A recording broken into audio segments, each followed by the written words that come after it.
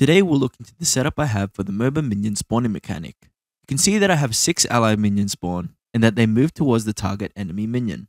Once the enemy minion is defeated, it will try to look and move towards the closest minion. When there are no minions in range, it will then walk towards the tier 1 enemy turret. I also managed to set up so that every 3 waves a super minion will spawn. If you guys just want the project, you can go to my Patreon and get it there alongside the two MOBA series project files.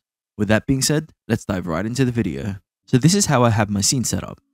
3 red cubes as our enemy minion, and a tall red one for being our enemy turret. I also have a minion spawner game object where we'll spawn our ally minions.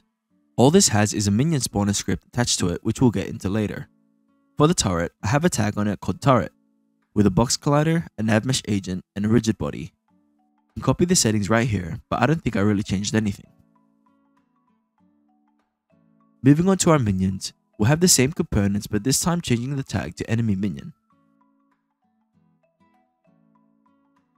For the minion spawner, it's just an empty game object with a script on it.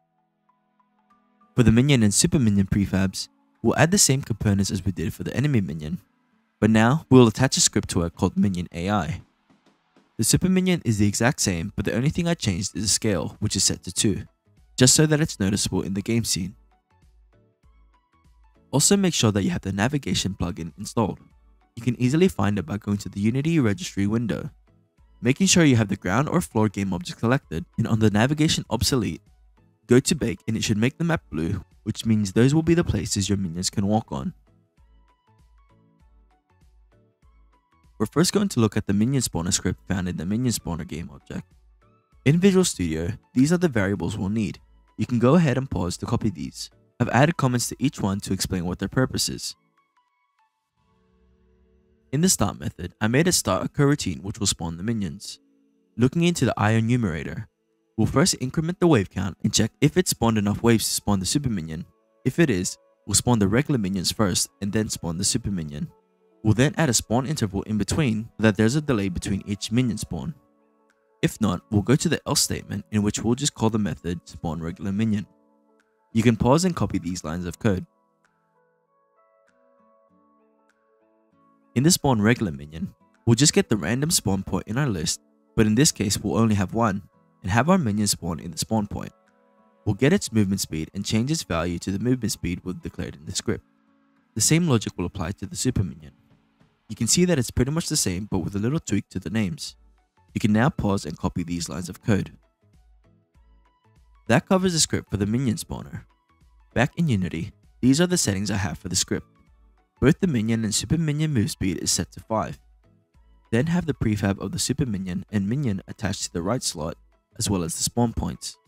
The spawn interval I have is set to 20. The minions per wave will be 6, and the waves until super minion is 3. We'll then have the delay between minion spawn set to 1. You can obviously change these settings to how you like, although I would say leave the delay between minions variable the same.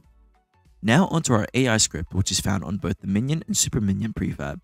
In this script, You'll need to make sure that you're using Unity UnityEngine.ai at the top to be able to access the NavMesh components. These are the components we'll need. You can go ahead and pause to copy these in. For the start method, we'll have the agent equal to the NavMesh agent and we'll call a function called find and set target. The find and set target will just be getting the game objects with the tag enemy and checking if they are within the ally aggro range. If they are, they will become the target, and if not, we'll look for the tag turret and go towards that instead. Scrolling back up to the update method, it's simply just checking the last time we switched to a target, and if there are enemies within the range.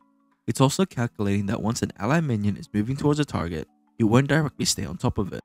Instead, it will stay at a stopping distance that you can declare on how far you want them to be from the enemy. For the check and switch targets, we're getting the enemy minion tag and checking if the current target is for example dead or destroyed. We'll then look for another target with the enemy minion tag. We'll keep repeating the process until there is none in range. If there isn't any in range, we'll then go to the enemy tower. You can go ahead and add these two transform methods in here. Copy these transforms and all it does is that it calculates which of the game object is closer and which is within the range of the minion. This is for the transform get closest object and this is for the transform get closest object in radius. After that's done, you're pretty much set to have the basic functional minion spawn working. Back in Unity, just make sure the enemy tag and turret matches to what you have in the script. You can also adjust the stopping distance, aggro range, and target switch interval to what you feel like. Personally, I would leave target switch interval, but the stopping distance and aggro range you can play around.